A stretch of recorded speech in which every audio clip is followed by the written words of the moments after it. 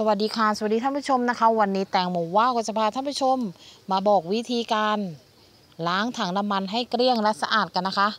ถังน้ำมันบางครั้งก็เป็นน้ำมันเครื่องเป็นถังน้ำมันจาระบีถังน้ำมันต่างๆนะคะเราก็สามารถเก็บถังเหล่านี้มาใช้ประโยชน์ได้ โดยวิธีการทำความสะอาดก่อนนี่นะคะทำความสะอาดแบบเกลี้ยงกิ๊กเหมือนใหม่ แล้วเราก็สามารถนำมาใช้ประโยชน์ได้ค่ะ เค ล็ดลับง่าย ๆ เรามาดูกันนะคะว่าใช้อะไรในการทำความสะอาด การทำความสะอาดก็คือใช้กระสอบป่านนะคะ ชุบกับน้ำมันโซล่าโหเกลี้ยงหมดทุกขันแล้วตอนเช้าอย่างเงี้ยการใช้น้ำมันโซล่านะคะ ชุบชุบกระสอบป่านแล้วเราก็ถูถูถูแบบนี้นะคะ ให้ทั่ว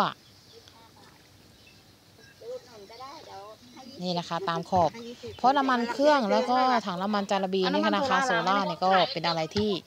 ล้างได้ดีมากๆอ่า เยอะเราก็เช็ดทำความสะอาดนะคะ ถ้าแผ่นที่เราเช็ด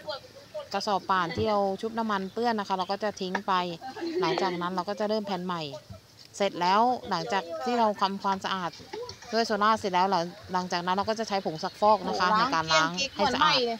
ถามว่าทำไมต้องใช้ผงซักฟอกก็คือผงซักฟอกจะกัดพักคราบน้ำมันได้ดีกว่าอย่างอื่นนะคะ